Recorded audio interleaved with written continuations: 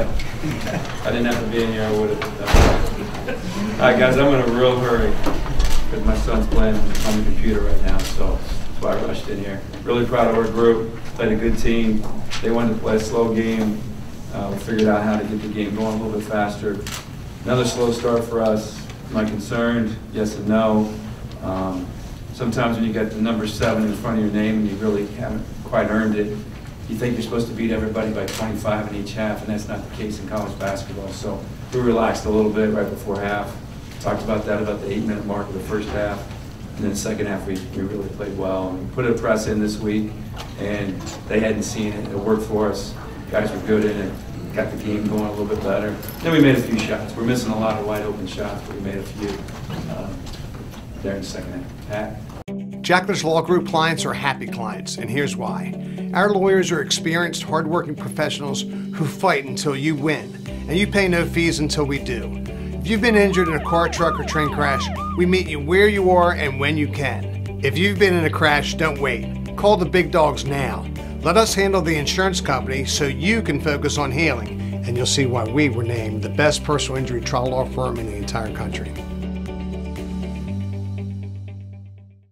CAG Federal brings a combination of military operational and commercial business experience to your organization. We mix extraordinary organizational management experience with strong leadership skills to provide your department with the best chance for success.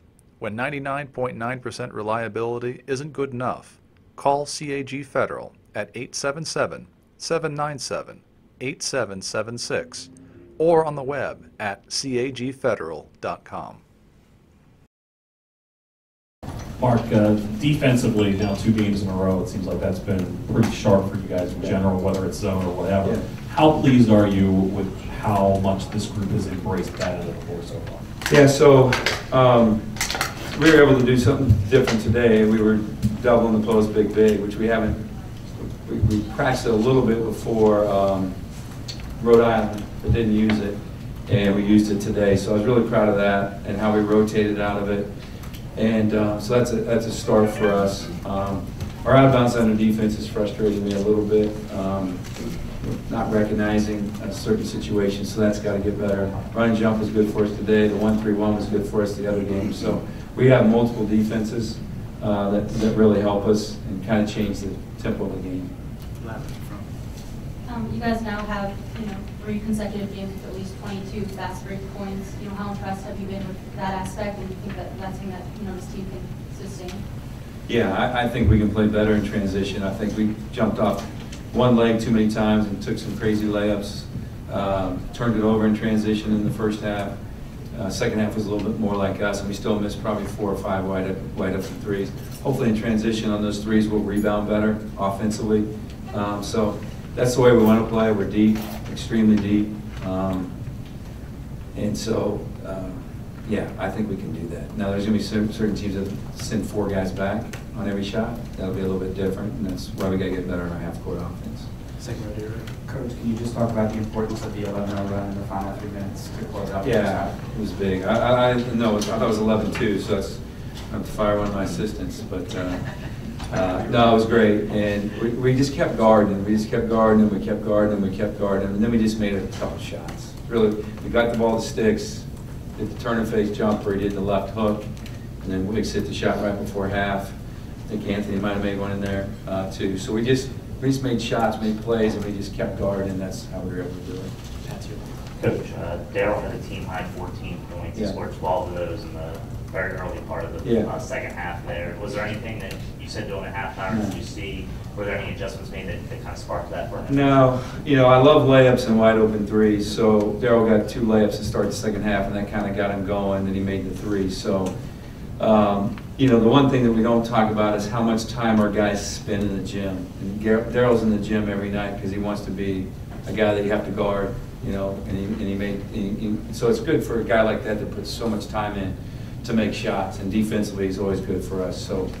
We made, up, guys, we made over like, I think over 3,000 threes since the Rhode Island game in practice, so we're gonna start making more of them. We, we shoot a lot of them, we're gonna make more of them. Like to be a little more balanced, twos and threes, score a little bit more around the basket in both halves, and and I think that would help us. Um, turnovers were much more of an issue early on than in the last 30 minutes of the game. Is that, is that just a matter of them settling into the game, or what, what do you see in the change? Well, one is, we're, you know, they were ready for us. They, they had a game plan, they walked it up, they guarded us well, they switched every ball screen. Uh, it took us a while to, because I didn't work on it. And I do, s- you know, I know I shouldn't say that because people are like, oh, what's he doing? I do it for a reason, so guys can learn during the game and get better on their own.